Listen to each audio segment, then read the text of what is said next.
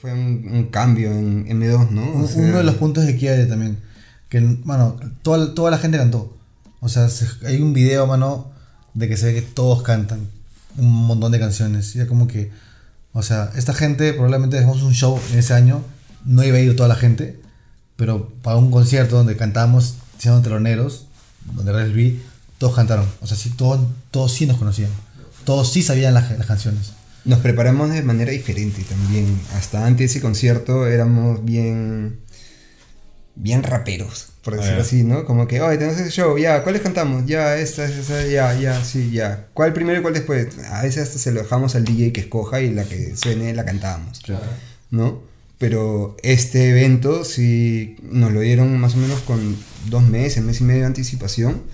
Entonces nos pusimos horarios de ensayos, todo ya profesionalmente, guion, qué canción iba primero, qué canción iba después en qué momento íbamos a regalar merch, en qué momento íbamos a hacer freestyle. Claro, es un guion. A partir de ahí cambió todo el show M2H.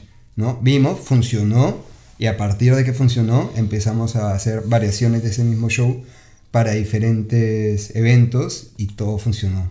O sea, creo que a partir de ese evento de Rels fue que nos dimos cuenta de lo que podíamos dar. O sea, también tomarse de manera profesional las presentaciones. Todo, mano, ya.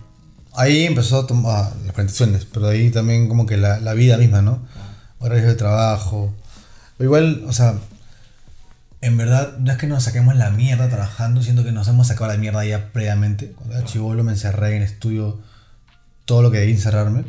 Ahorita no estoy tan encerrado, pero sí estoy encerrado. Igual, igual madrugo casi todos los días. Entro 8 pm al estudio, salgo 3 de la mañana. O sea, sí sacrificado igual, pero no es como antes, que era como que me despertaba en el estudio, me dormía en el estudio.